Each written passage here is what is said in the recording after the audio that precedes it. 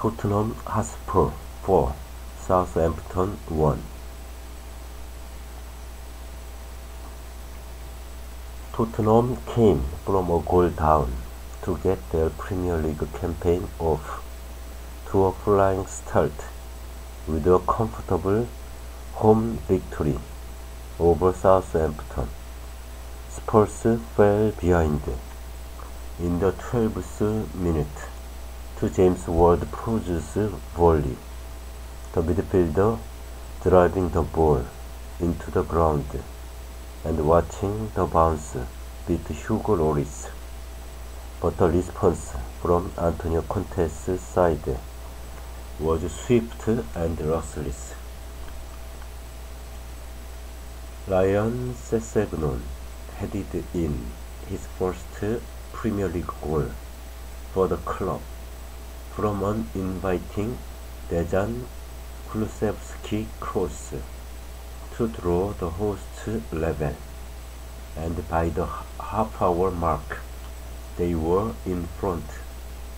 Eric Dier had not scored in three years but met a whipped Son Heung-min delivery with a low flicked header into the far corner.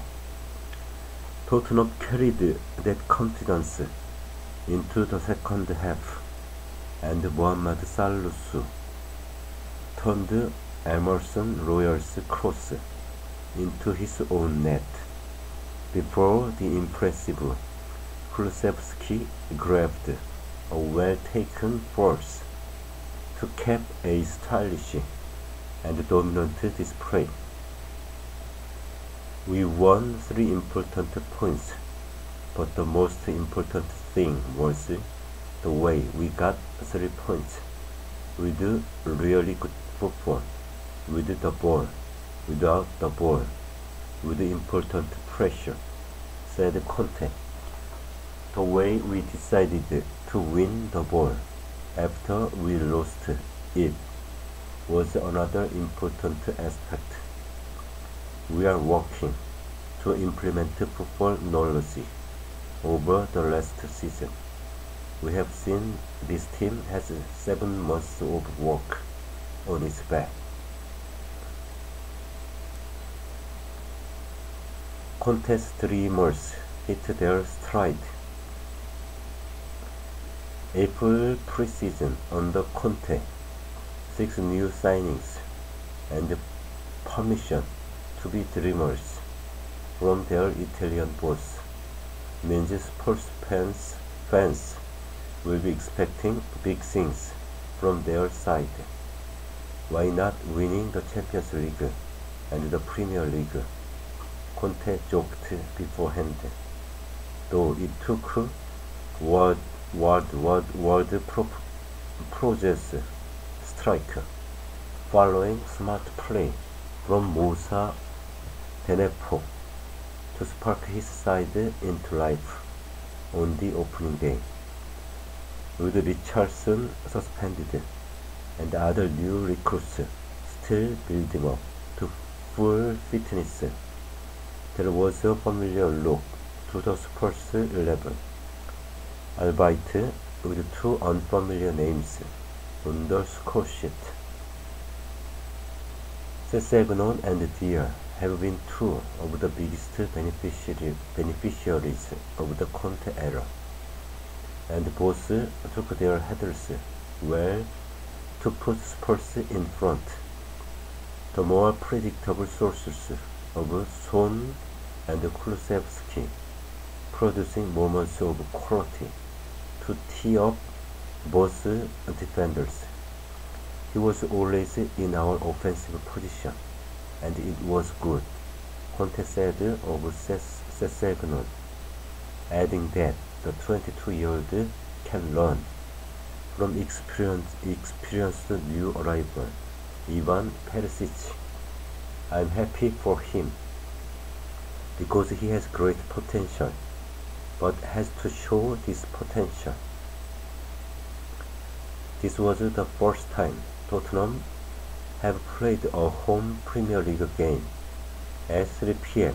on Saturday in 973 days since beating Burnley 5-0 in December 2019 and the first time they have begun a season in this kickoff slump for more than 20 years.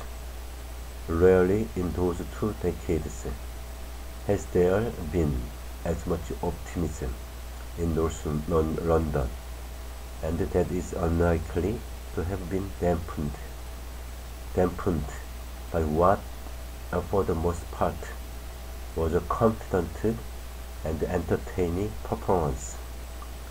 Sessegnon also had an effort ruled out for offside immediately after the break and the opposite wingback Royals low ball forced Salisu into an own goal before the Brazilian teed up Kulusevski to find the bottom corner two minutes later. The focus at Southampton has been on youth this summer. After signing six players with just two with just two over the age of 20, but it was uh, since Mr. Reliable and uh, last season's uh, top scorer Ward Prowse, Prowse who got the visitors off to a superb start. That hope was short-lived for Ralph Hasenhüttl's side, who, as well as having the worst opening day record of all current Premier League teams, finished last season with four successive defeats and did little to rid themselves of that hangover at the Tottenham Hotspur, Hotspur Stadium. It felt a little bit like the opponent switched into the next gear, and we cannot follow, said the Saints boss. This was frustrating to see how big the gap is between the two teams. After the first goal, we had the feeling they were absolutely in the game, and they smashed us with their crosses, and we couldn't defend.